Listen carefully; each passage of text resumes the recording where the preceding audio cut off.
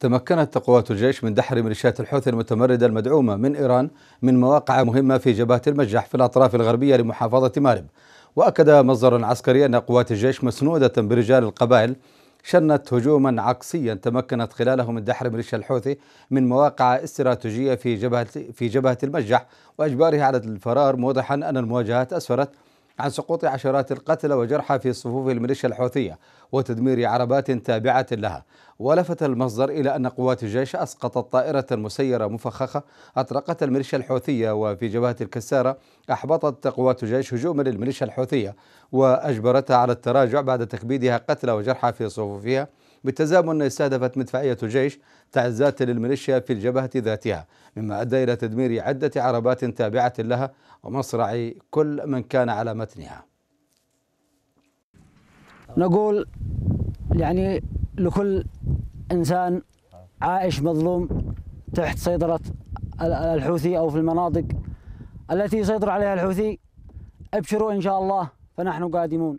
نحن لا ندافع عن مارب.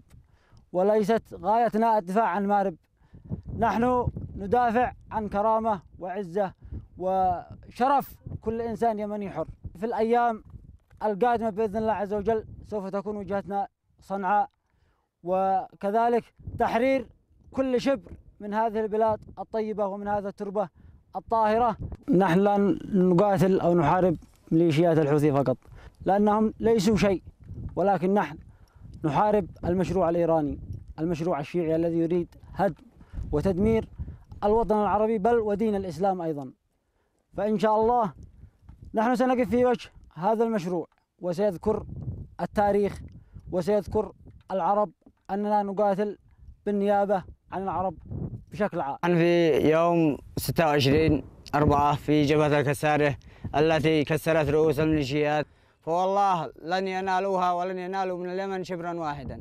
ونقول لهم انزلوا ولن ترجعوا إلى صناديق ولن ترجعوا إلا أشلاء. والله الحمد لله المعنويات عالية. بفضل الله ثم الرجال الصادقين المقاتلين. والعدو والله خسائر خسائر لم نراها من قبل. والله نرسل رسالة للحوثيين والآباء وأمهات الذين يرسلون أبنائهم إلى المحرقة. نقول لهم مارب يعني محرقة. وننصح كل أب وكل حوثي أن يعني أن يحافظوا على أبنائهم وعلى أخوانهم. نقول لهم والله نحن ثابتون.